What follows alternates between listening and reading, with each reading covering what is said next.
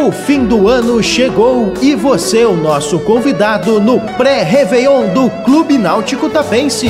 É dia 3 de dezembro com Ed Carlos e Banda. Fica dentro do meu peito sempre uma saudade. Pré-réveillon Clube Náutico Tapense. É dia 3 de dezembro com Ed Carlos e Banda.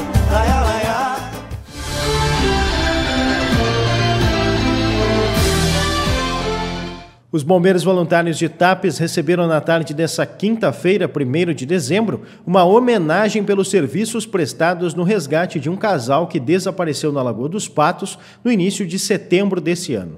Através de uma carta do comandante da Capitania dos Portos da Marinha do Brasil no Rio Grande do Sul, capitão de fragata e capitão dos portos João Gilberto de Oliveira, entregue pelos oficiais 1 Sargento Pedro Filho e o Sargento Holanda ao prefeito Silvio Rafaeli, os bombeiros de Tapes foram ressaltados e agraciados pela estima da Marinha do Brasil pelos serviços prestados. O Sargento Holanda ressaltou o profissionalismo dos voluntários e também a dedicação que eles têm com a corporação. O sargento também elogiou a colaboração na comunidade através do presidente da colônia de pescadores de Tapes, Sérgio Giovanni Quadros, e do auxílio do prefeito Silvio Rafael. Já o prefeito agradeceu a homenagem e falou sobre o engajamento dos voluntários.